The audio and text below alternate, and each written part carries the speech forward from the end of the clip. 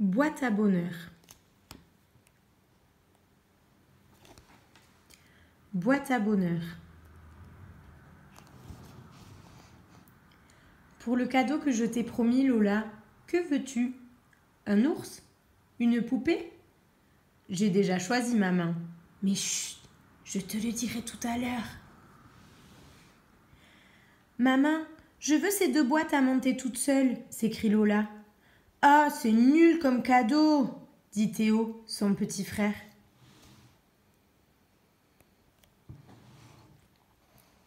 Lola ne veut pas qu'on l'aide. Qu'est-ce que c'est ce truc? Et ce bidule là, il va dans quel machin? Très fière, Lola fait venir ses parents. Voilà, je les appelle mes boîtes à bonheur. La petite pour les petits bonheurs et la grande pour les grands bonheurs. C'est une très belle idée, disent papa et maman. Tu les rempliras demain. Au lit maintenant. D'accord, répond Lola.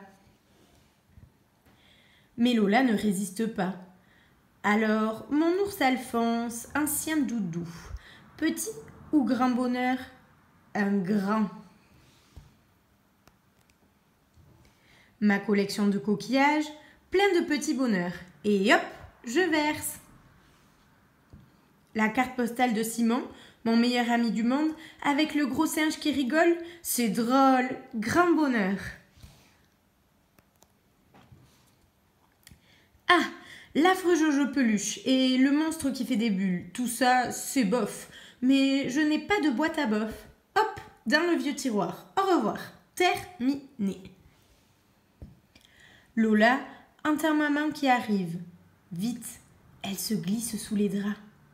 Maman, si la nuit je fais un beau rêve, je le dessinerai et le mettrai dans une boîte. Le lendemain matin, Lola montre son dessin à papa.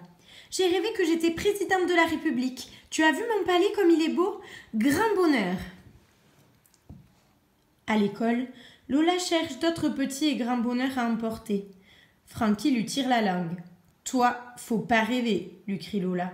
Il n'y aura jamais rien de toi dans mes boîtes.